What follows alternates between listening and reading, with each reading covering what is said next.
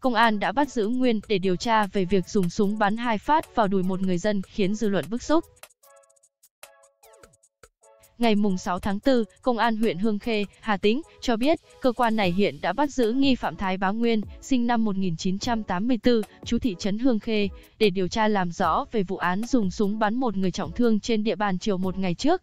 Bước đầu, cơ quan công an đã thu giữ khẩu súng được cho là Nguyên đã dùng để bắn ông Nguyễn Viết Lý, trưởng thôn Vĩnh Phúc, Hương Vĩnh, Hương Khê.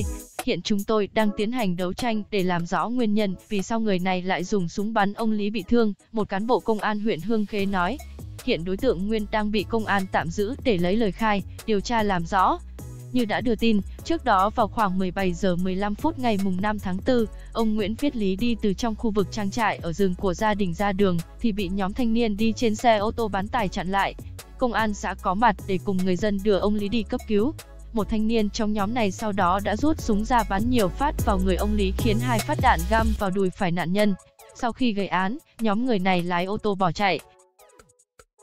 Ông Lý được người dân đưa đi cấp cứu tại bệnh viện đa khoa tỉnh Hà Tĩnh. Tại hiện trường, cơ quan công an đã khám nghiệm và thu giữ được hai vỏ đạn. Vụ việc hiện đang tiếp tục được các cơ quan chức năng điều tra làm rõ. Nam thanh niên ngồi trên xe bán tải bắn người đàn ông đi rừng hai phát đạn vào đùi theo trí thức trẻ.